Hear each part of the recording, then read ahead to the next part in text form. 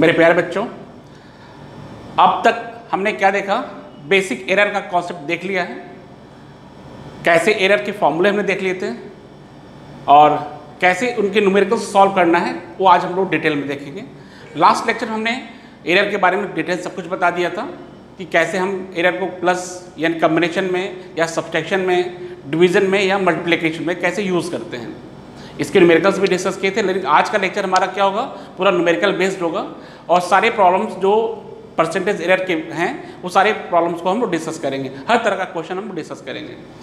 देखो सबसे सिंपल सा जो आ, हमारा जो एरर का, का जो न्यूमेरिकल है उसमें आपको ये करना है कि क्वेश्चन नंबर वन हमारा ये कह रहा है कि मान लो हमारे पास दो रेजिस्टेंस है।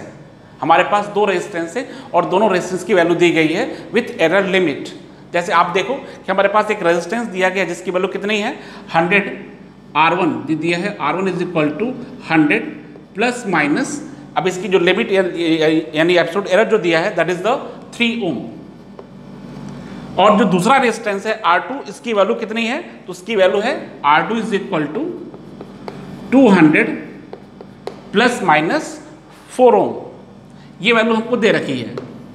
हमें करना क्या है? तो हमें ये बताना है कि अगर इन दोनों रेजिस्टेंस को सीरीज़ में ऐड किया जाए तो इसका इक्वलेंट रेजिस्टेंस क्या होगा?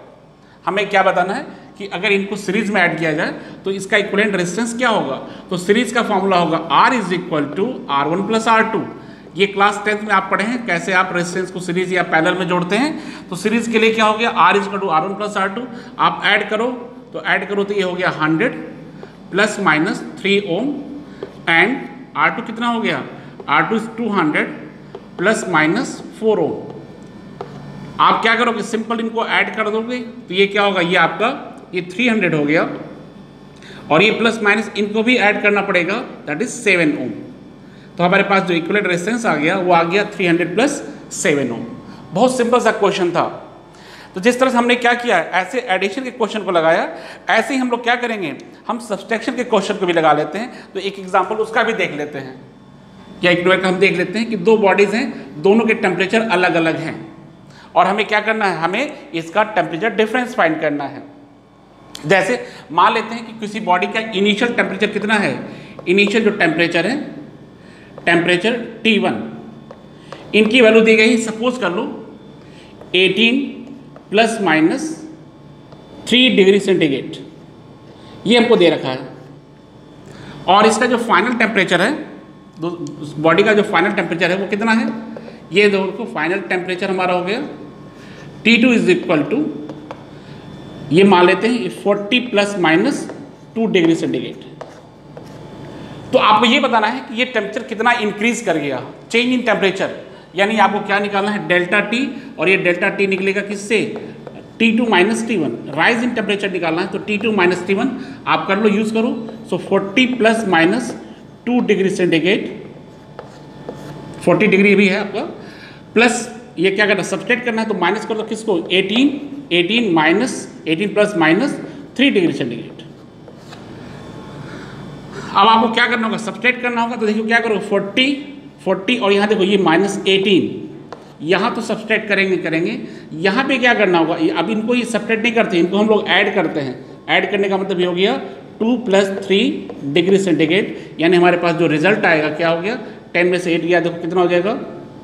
ये टू हो जाएगा, और ये फोर में से वन गया that is three that is twenty two twenty two plus minus और ये कितना हो गया? Five degree centigrade. इसका मतलब हमारे पास देखो क्या हो गया?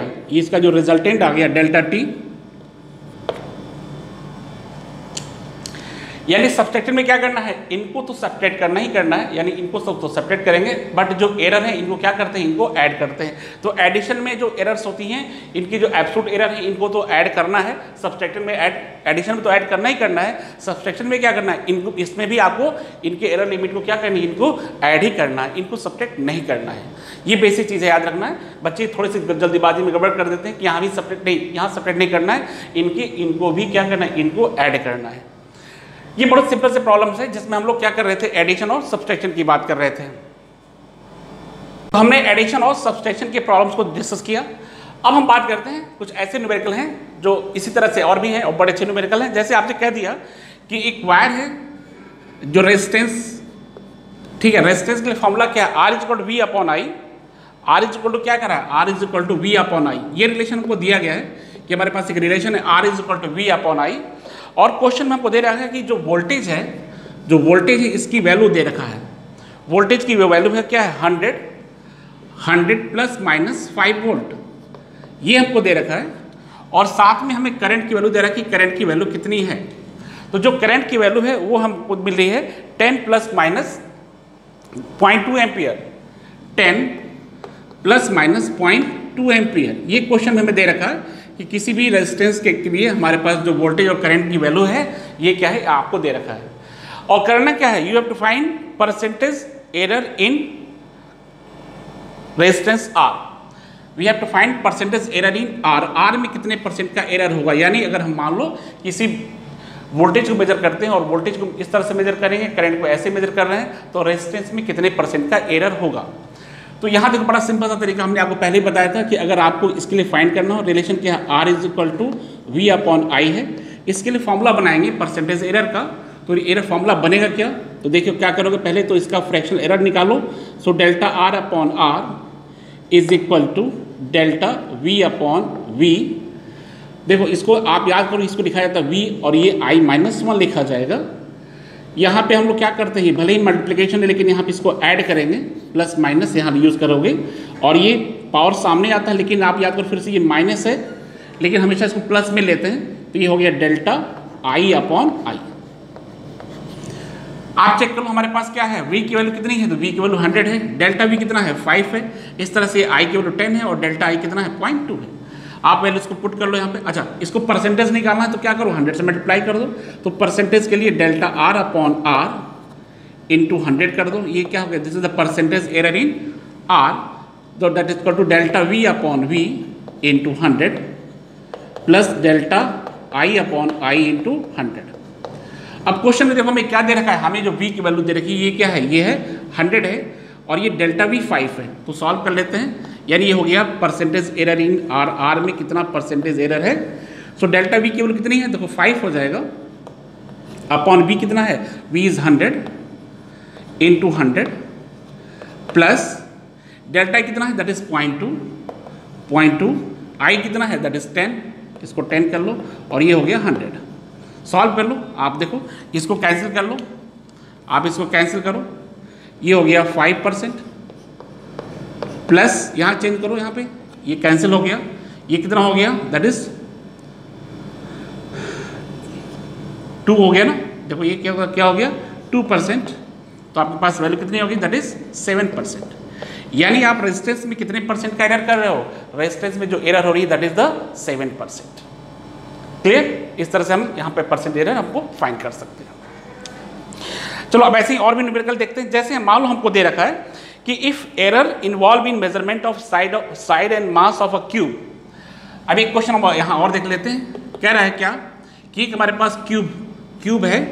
और ये क्यूब का देखो क्या खास बात सबको पता है कि इसके लेंथ ब्रेथ और थिकनेस कैसी है? सेम होती है। तो अगर हम ये कह दें कि इसकी लेंथ एल है तो इसकी ब्रेथ भी एल है और इसकी हाइट भी कितनी होगी? सब ये एल होगा। तभी तो ये क्यूब बनेगा। अब ये क्या करा है कि जो क्यूब है, इसकी, इसमें आपको बताना है कि इसकी डेंसिटी डेंसिटी जो होगी डेंसिटी इसका तो क्या होगा? मास अपॉन वॉल्यूम ठीक है? मास अपॉन वॉल्यूम हो गया। मास को मास रहने दो और वॉल्यूम क्या होगा? क्यूब है तो इसका वॉल्यूम क्या हो जाएगा? दैट इज़ एल क्यूब यानी आप सिंपल ले लो density rho is equal to cube के लिए हो गया एम अपॉन एल क्यूब ये फॉर्मूला हो गया। अब आते हैं क्वेश्चन में। क्वेश्चन में क्या कर रहा है? जरा इसको ध्यान से देखते हैं। तो क्वेश्चन में कह रहा है कि अगर हम मान लो किसी क्यूब की बात कर रहे हैं, और इसके जो हम इसका मास है और साइड, यानी मेज़रमेंट ऑफ़ साइड यानी जो परसेंटेज एरर है, किसमें?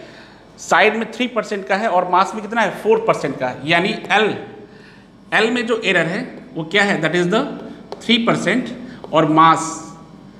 मास में जो परसेंट एरर क्या है? दैट इज़ फोर परसेंट तो आपको बताना है कि डेंसिटी में कितने परसेंट का एरर होगा। डेंसिटी में कितने परसेंट का एरर होगा। तो जरा देखते हैं, ये एल का मतलब ये हो गया एल का लेंथ में परसेंटेज का मतलब हो गया delta L upon L into hundred that is given three percent और ये मास का मतलब हो गया delta M upon M into hundred ये आपको दे रखा है। डेंसिटी में निकालनी तो डेंसिटी के लिए रिलेशन बनाते हैं। डेंसिटी के लिए क्या फॉर्मूला बनेगा? So delta rho upon rho into hundred this is equal to यहाँ रिलेशन बनाओ delta M upon M into hundred अच्छा एक चीज़ और देख लेना। इसको आप चाहो तो ऐसे कर लो एम एल के power minus three L to power minus three कर लो। ये क्या हो गया? इस पावर को सामने हम हमने पहले बताया था ये पावर कहाँ आता है सामने आएगा। बट ये निगेटिव है, इसके बावजूद भी इसको क्या करेंगे? पॉजिटिव लेंगे। और ये थ्री हो जाएगा delta L upon L into hundred ये हमें वैल्यू मिल गई।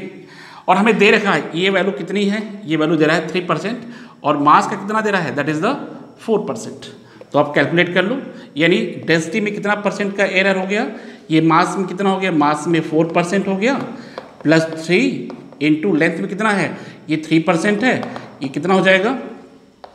फोर प्लस नाइन देखो फोर प्लस नाइन क्या हो गया? थर्टीन परसेंट क्लियर तो देखो, इसमें हमें ऐसे क्वेश्चन और मिलते जाएँगे आपको। पहले क्वेश्चन तो एक बड़े सिंपल से हमने देखा थे कि सिंपल दो वैल्यूज़ दे रही थी। दोनों को ऐड करना था। ऐड में कैसे हम लोग एरर निकाले थे? सब्सट्रैक्शन में क्या करना था? क्लियर अब हमारे पास जो नए तरह का क्वेश्चन आ रहा है, वो कैसा आ रहा है? फार्मूला बेस्ड आ रहा है, जिसमें क्वेश्चन में आपको फार्मूला दे भी सकता है, नहीं भी दे सकता है। जैसे हमने क्या कहा, इस क्वेश्चन में आपको दे रखा था। ये चाहता तो ये फार्मूला नहीं देता। ठीक है, इस क्वेश्चन तो दे रखा था, लेकिन यहाँ पे ये फॉर्मूला आपको नहीं दिया था। सिंपल कह दिया कि लेंथ में थ्री परसेंट का एरर है और मास में, यानी क्यूब के मास में जो एरर है, कितना है? फोर परसेंट का है।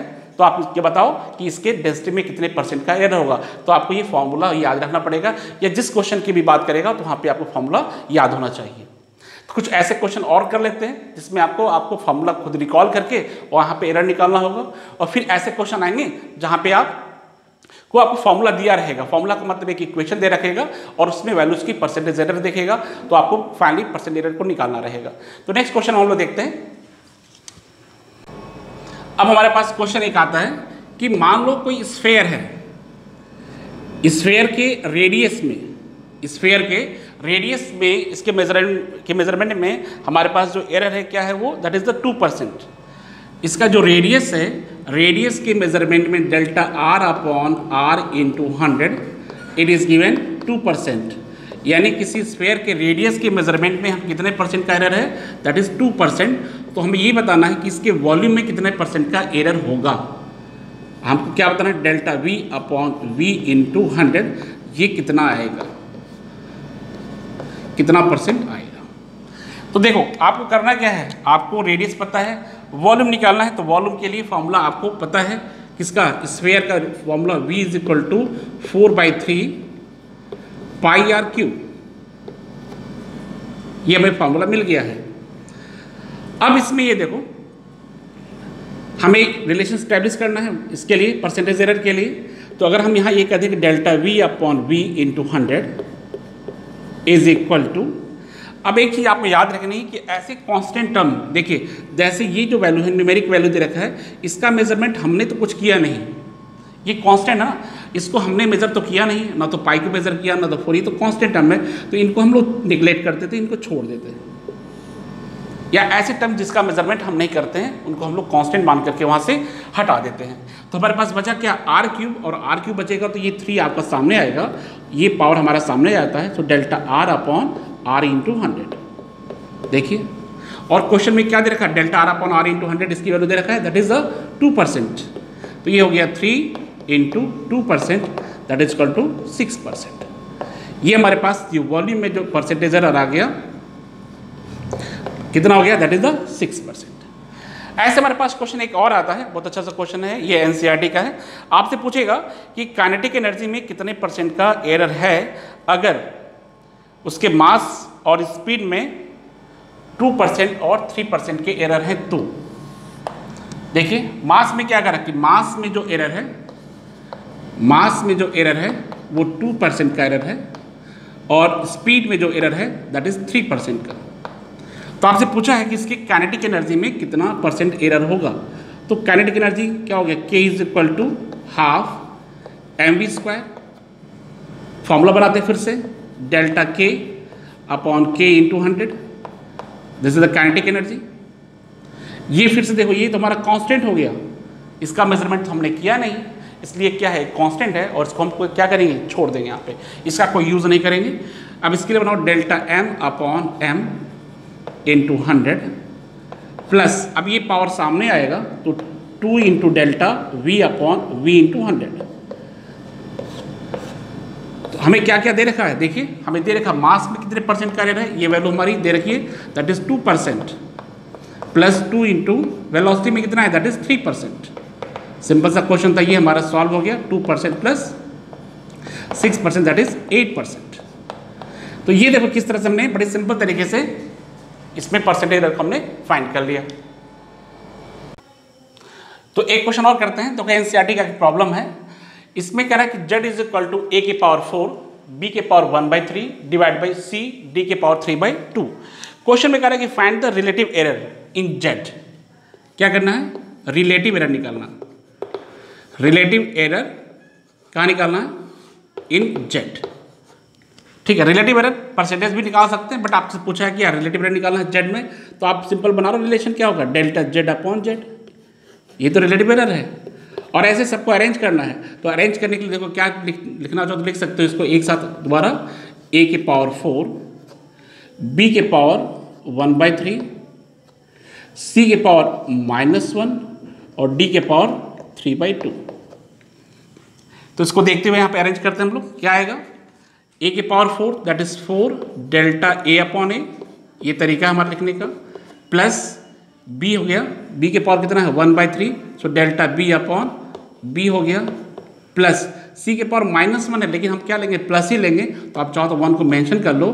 डेल्टा सी अपॉन सी यहाँ पे फिर से देखो, ये हो गया माइनस थ्री बाई टू अगर है। ऊपर जाएगा तो माइनस थ्री बाई टू लेकिन यहाँ आएगा तो क्या होगा? यहाँ भी प्लस होगा। Plus three by two into delta D upon D ये हो गया हमारा क्या? पर ये हमारा निकल गया रिलेटिव एरर क्वेश्चन में इतना ही पूछा गया है और आपसे पूछता है परसेंटेज निकालने के लिए तो हंड्रेड से सब में मल्टीप्लाई कर दो। और आगे फर्दर क्वेश्चन में आपको इनकी वैल्यूज़ अगर दी गई हैं ए में कितना परसेंटेज है बी में कितना है तो आप वहाँ सॉल्व कर सकते हो। जैसा कि हमारा अगले क्वेश्चन में दे रखा है। अगले क्वेश्चन में क्या दे रखा है कि आपको एक रिलेशन दे रखा है।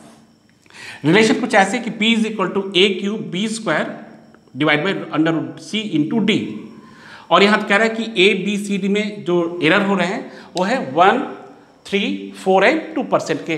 तो हमें क्या करना है? हमें फाइंड करना है कि what is the percentage error in P तो रिलेशन फिर से बनाते हैं। तो आप देखो, पहले बना लो P is equal to A Q B square C के power minus half and D के पावर माइनस वन आप रिलेशन बनाओ delta P upon P into hundred is equal to three delta A upon A into hundred plus B के power two है ना तो twice delta B upon B into hundred और साथ में हमारे पास क्या है?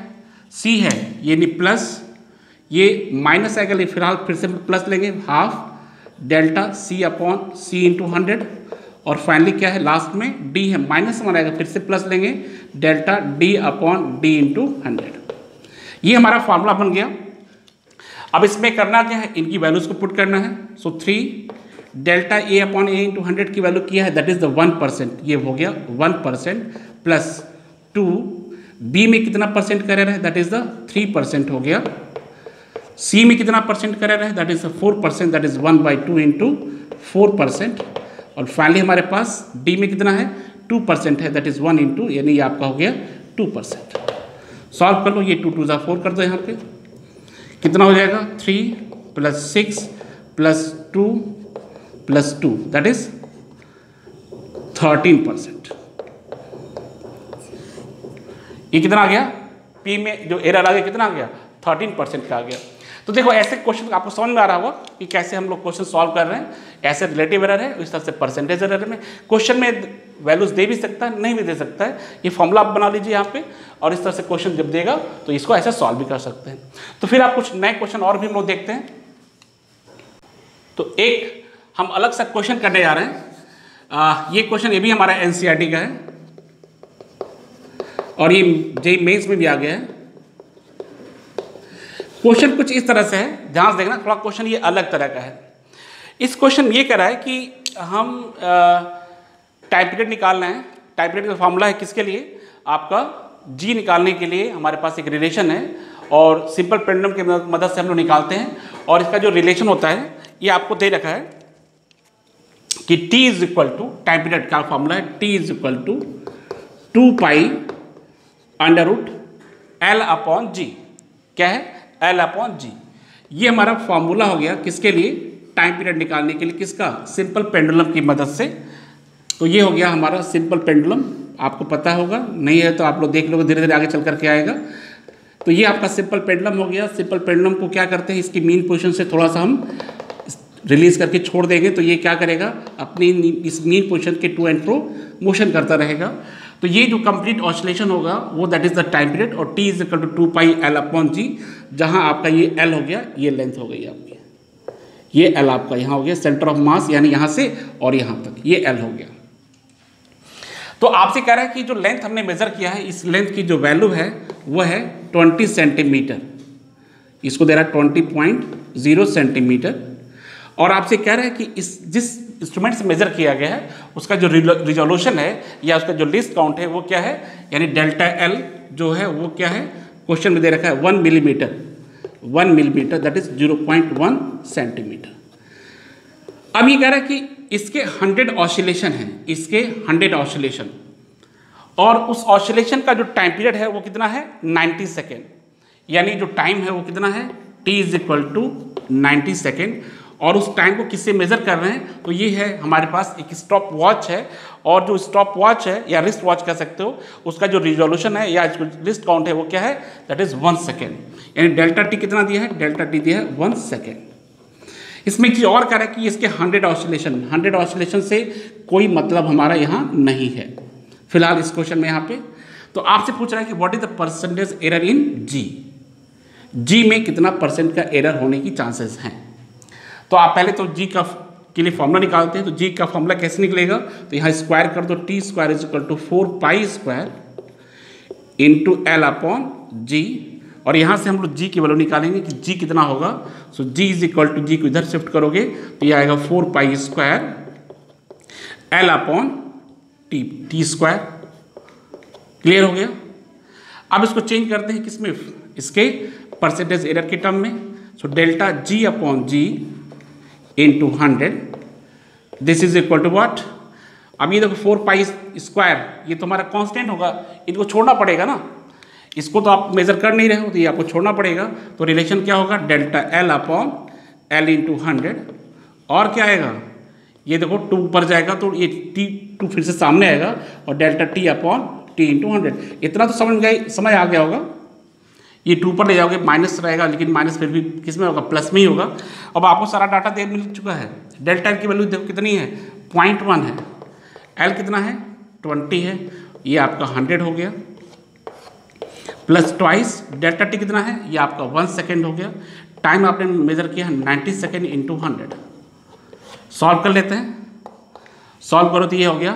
पॉइंट फाइव देख लो। ये करोगे तो आपका ten ten upon twenty that is one point five हो गया। इसको सॉल्व कर लो। तो ये हो गया आपका ट्वेंटी अपॉन नाइन ठीक है? ये हो गया ज़ीरो पॉइंट फाइव और इसको ट्वेंटी अपॉन नाइन सॉल्व करोगे तो ये नौ दिन अट्ठारह, यानी टू पॉइंट समथिंग आएगा टू पॉइंट टू टू ठीक है? ये कितना हो गया? Two point two two add कर दो। तो ये हो गया आपका answer finally two point seven two percent तो जी में जो परसेंटेज एरर आ गया, क्या हो गया? टू पॉइंट सेवन टू का परसेंटेज एरर आ गया।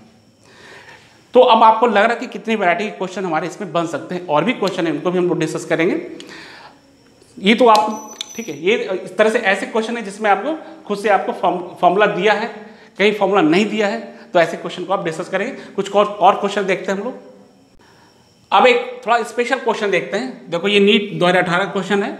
बहुत ही अच्छा क्वेश्चन दे रखा है। कह रहा है कि आप मास लेंथ और टाइम ये तीन चीज़ दे रखा है. मास लेंथ एंड टाइम इसमें जो परसेंटेज एरर है, इनकी वैल्यू है one one percent two one percent one point five percent one point five percent and three percent mass length और टाइम में जो परसेंटेज एरर है, इनकी वैल्यू दे रखी है यहाँ पे. अब आपसे कह रहा है कि एक फ़िज़िकल क्वांटिटी है ठीक है? आपके पास एक फ़िज़िकल क्वांटिटी है।